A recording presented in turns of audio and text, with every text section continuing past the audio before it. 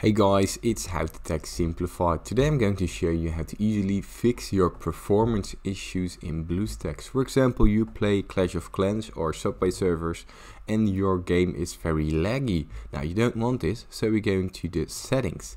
Uh, the settings are right here in the button, and the right button. And from there you go to the performance tab. Now, for this you need to know what your CPU is.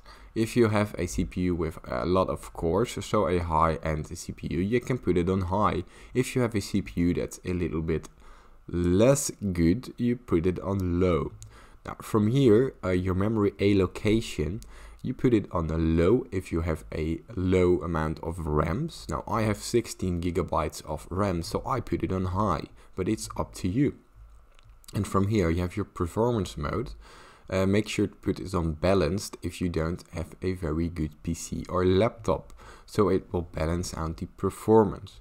Now this is very important. Here you see enable high frame rate. Make sure to check this box. The frame rate is the FPS. It's the uh, refresh rate of the game.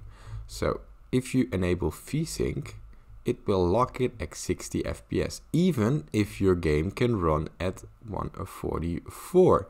Now, if you want your game to run extra smooth, you should go down to your display monitor settings.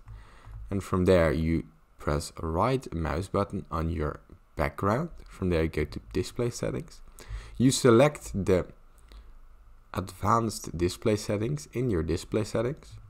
And from there, you select the uh, display that you're using. For me, it's the internal display. And as you can see, you see the refresh rate right here. Make sure to put this at the, the highest setting. So for me, it's 144 Hertz, but it can also be 75 or 60 Hertz.